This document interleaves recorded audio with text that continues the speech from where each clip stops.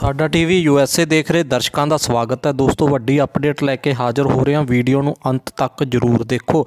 ਪੰਜਾਬ ਵਿੱਚ ਰਾਤ ਦਾ ਕਰਫਿਊ ਲੱਗਣ ਬਾਰੇ ਉਪ ਮੁੱਖ ਮੰਤਰੀ ਅਤੇ ਸਿਹਤ ਮੰਤਰੀ ਓਪੀ ਸੋਨੀ ਵੱਲੋਂ ਬਿਆਨ ਜਾਰੀ ਕੀਤਾ ਗਿਆ ਹੈ।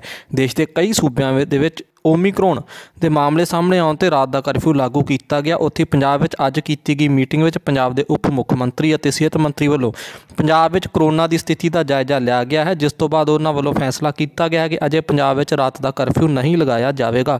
ਉਹਨਾਂ ਕਿਹਾ ਕਿ ਪੰਜਾਬ ਵਿੱਚ ਅਜੇ ਤੱਕ ਇਸ ਵਾਇਰਸ ਦਾ ਇੱਕ ਵੀ ਮਾਮਲਾ ਸਾਹਮਣੇ ਨਹੀਂ ਆਇਆ ਹੈ ਅਤੇ ਪੰਜਾਬ ਦੀ ਸਥਿਤੀ ਉੱਪਰ ਪੂਰਾ ਧਿਆਨ ਰੱਖਿਆ ਜਾ ਰਿਹਾ। ਉੱਥੇ ਹੀ ਪੰਜਾਬ ਦੇ ਉਪ ਮੁੱਖ ਮੰਤਰੀ ਅਤੇ ਸਿਹਤ ਮੰਤਰੀ ਓਪੀ ਸੋਨੀ ਵੱਲੋਂ ਬਿਆਨ ਜਾਰੀ ਕਰਦੇ ਹੋਏ ਆਖਿਆ ਗਿਆ ਕਿ ਅਗਰ ਪੰਜਾਬ ਵਿੱਚ ਓਮਿਕਰੋਨ ਦਾ ਕੋਈ ਵੀ ਮਾਮਲਾ ਸਾਹਮਣੇ ਆਉਂਦਾ ਹੈ ਤਾਂ ਉਸ ਵਾਸਤੇ ਸਾਰੇ ਪੂਰੀ ਤਰ੍ਹਾਂ ਤਿਆਰ ਹਨ। ਤਾਂ ਦੋਸਤੋ, ਇਸ ਤਰ੍ਹਾਂ ਦੀਆਂ ਹੋਰ ਤਾਜ਼ਾ ਅਪਡੇਟਸ ਲਈ ਚੈਨਲ ਨੂੰ ਸਬਸਕ੍ਰਾਈਬ ਕਰੋ, ਵੀਡੀਓ ਨੂੰ ਸ਼ੇਅਰ ਕਰਨਾ ਨਾ ਭੁੱਲੋ।